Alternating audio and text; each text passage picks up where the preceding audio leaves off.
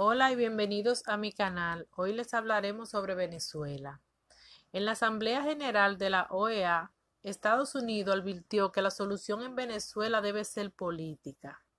Solo después de que el régimen de Maduro se retire podemos empezar una verdadera transición, afirmó la, diplomática Kimberly Breyer durante la sesión plenaria del organismo en Medellín. Kimberly, secretaria de Estado adjunta de Estados Unidos para Latinoamérica, aseguró que la crisis de Venezuela es lo primero en la lista de prioridades de los Estados miembros de la OEA. Esta situación requiere el compromiso regional constante de la OEA y la, y la región.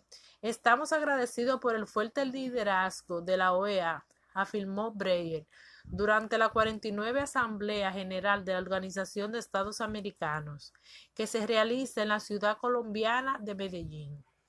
Y agregó, el fondo de la crisis en Venezuela es político, con consecuencias, eh, con consecuencias profundas, humanitarias, económicas y de otro tipo. Por eso es que la solución debe ser política.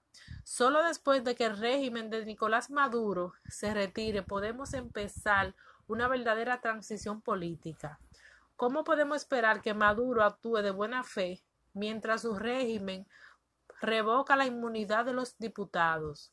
¿Cómo podemos esperar que Maduro respete las instituciones democráticas cuando ha puesto prisionero de manera ilegal a muchos miembros de la Asamblea Nacional, incluyendo a Edgar Zambrano y Roberto Marrero? Este no es un hombre con el cual podemos negociar, argumentó esta.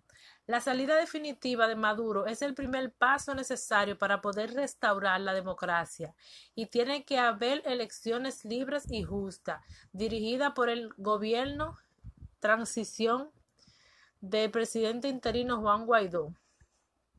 Por otro lado, Estados Unidos también manifestó que la clave que haya una acción regional concentrada para enfrentar la crisis de Nicaragua.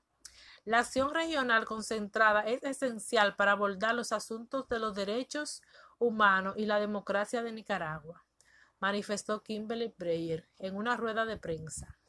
Ya ustedes saben, mi gente, recuerden suscribirse y darme like. Bendiciones.